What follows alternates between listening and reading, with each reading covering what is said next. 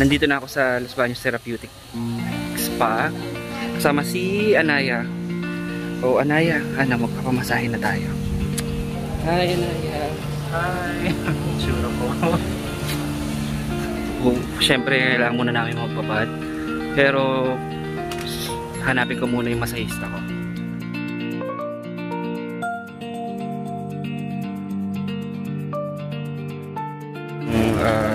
Spa, kailangan muna may face mask, QR code. Kung walang QR code, kailangan magpa-register doon. Ayan ka. Scan muna yung QR code. Tapos, yan. Tapos babarilin ako ni ate. Ay, dito na lang sa kamay. Dito na kami sa loob. Nakuha na, na kami ng blood pressure ni John Michael. So, yun. Kailangan lagi kami imidalang tubig kasi syempre pag nagbabad kami doon sa hot spring, sigurado madidehydrate kami, mauuhaw kami.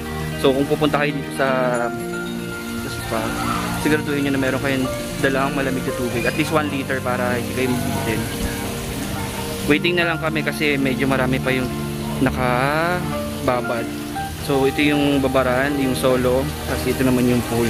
Premiere na nagbababad dito sa um, spa na to, puro mga senior din kung sakali. Anay, ang ganda ng kulay ng buhok mo ngayon. Kamusta yung ano, sponsorship ng Scotch Brite? Hindi. Walang ganun mo. Ah, hindi ba yung Scotch Brite? Yun scotch. Ah, pero in fairness. Sabi nga nung kaklase ko si Ah, yung. Tapos sabi ng mga bata sa amin, may gulaman daw sa ulo ko. Paano na-achieve yan? Sabi nung mga bata sa amin, ay ba't may gulaman pa sa ulo? Parang nakatongan eh. Ano ba yan? Parlor o ikaw lang? Ako no. Oh, in fairness ah. Sa Rizal. Ay, ay, sa shop. Like, 25 pesos. Ay, para mga China-China na ano, hair coloring. Masaya daw ako. Effective talaga. Pero hindi siya nagtatagal na sobrang tagal. Like, ah, siguro after a week, nagpe-fade na siya. Okay lang yan, hindi magkukulay green yung ano, bababaran mo. Hindi naman. Ano pag na shampoo, Habang sinashampoo. hindi siya okay lang. Ah, kaya rin naman pala. Like, everyday conclusion. Ay. So, kakain muna kami. Mamaya pa naman ito mapupuno eh. So, yan. Medyo marami-rami na rin yung tao. Nagbababa dito. Waiting din yung iba. So, yan. waiting din kami dito ni Barbara. Natural hot spring yung laman ng pool na to.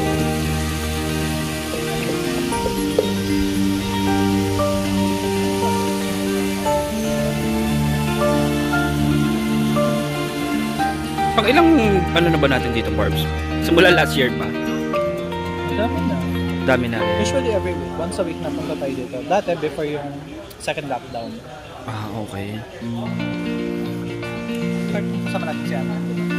Oo nga. Tapos hindi na umulit sila an-an. Tapos ulit tayo, tapos kasama natin si Dan. Tayo na lang lagi. Sarap din kasi yung ganito. Kasi syempre, nadedetoxify yung katawan natin. Totoo, masarap siya sa, sa feeling after magpapagod. Group lang massage magpapagod. Ah, good idea. Hindi na ako magpapamassage. Char! Patay ako sa masahista ko. Si RB. Isa sa mga pinama... RB. Yung itsura niya. Makamaka talaga siya artist. Sino? Pero grabe, grabe yung kamay ni RB, no? Matrain mo siya. Para siyang prope- professional talaga yung ano niya, hagod niya. Hindi mo pagsisisihan. Lahat naman siguro sila kasi si Celo yun. O, sige nga, kung lahat sila, try mo magpamassage sa babae ngayon. O, di ba? De, pero, hindi naman sila dito nag-hire ng ano, ng mga hindi TESDA certified, no? Yung mga walang certificate. Oo, sa bagay, bag before naman si RB, yung iba nagpamasahe, nagpasahe sa akin dito, okay naman. Alin? Okay, ah. Bagay sa iyo yung pagkain na yan. Huwag lang baboy. Hindi. Kasi lagi kang kopya sa pag-ibig. Wow. Bakla ka. Ba na sila lolo dito?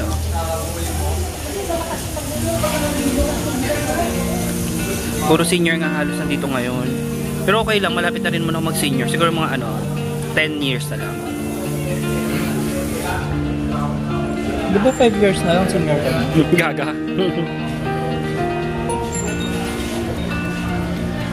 Buti maganda pa naman ngayon eh. Kanina medyo, hindi mo alam kung uulan eh, no? Oo, kumalimlim kanina. Kaya medyo nakakapag-alinlangan lumabas kanina eh. Ay, maya-maya lulusong na kami. Pero syempre, dapat before lumusong ang magbabad, kailangan muna mag-shower para malinis din. Anaya, ito na. Ito na yung phone. Ito na po ang bida ng Labida Lena. Ano kami na set. Eh, Saka nung service mo sa ang ganda ng lighting mo dyan. Parang kinukuha ka na.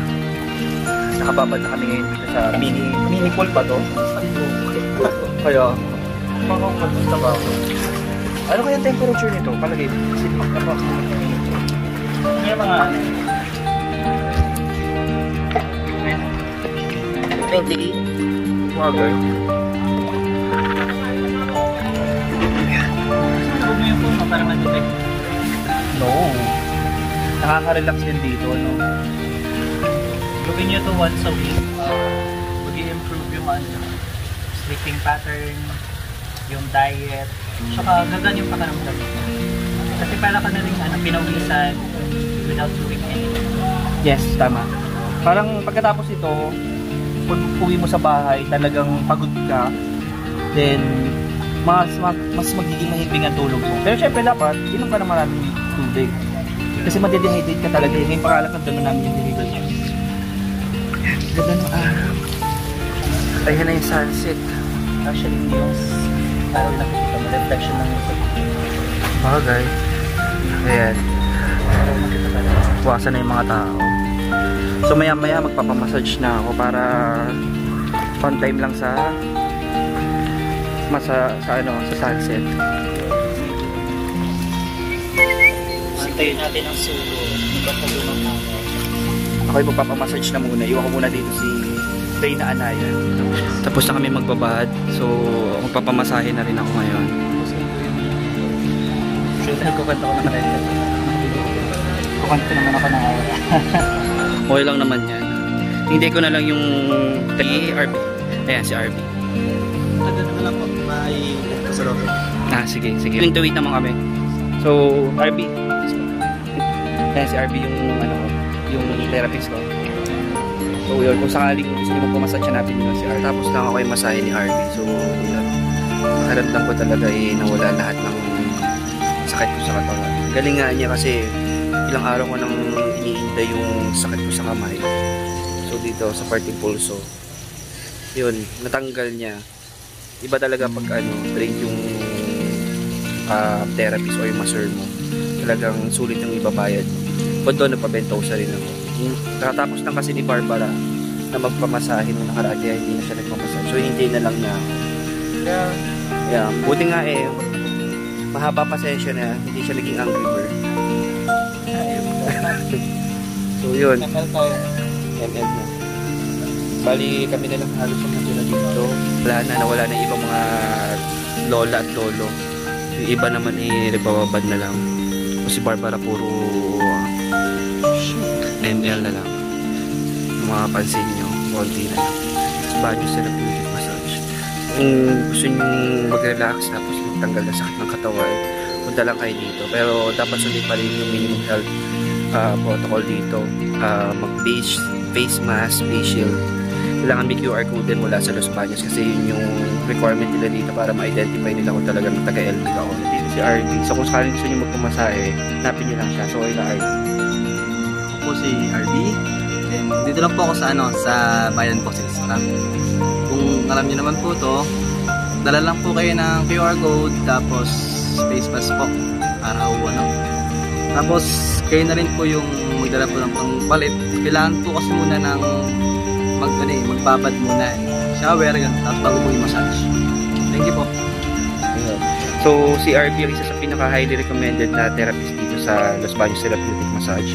Kung talagang gusto nyo talaga ma-relax, hanapin nyo siya kasi siguradong sulit na sulit ay babae nyo. Salamat RB! Thank you po. Mga kamot-mot, i-click lang ang subscribe button at i-hit ang notification bell para maging updated ka pa sa mga susunod ko pang videos.